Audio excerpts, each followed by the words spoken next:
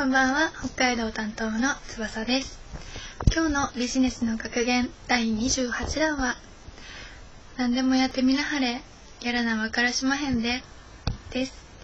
これを北海道弁に例えると、何でもやってみ、やんないとわかんないべ、です。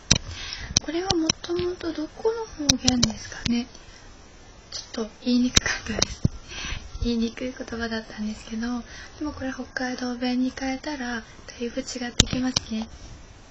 じゃあ、明日も見てください。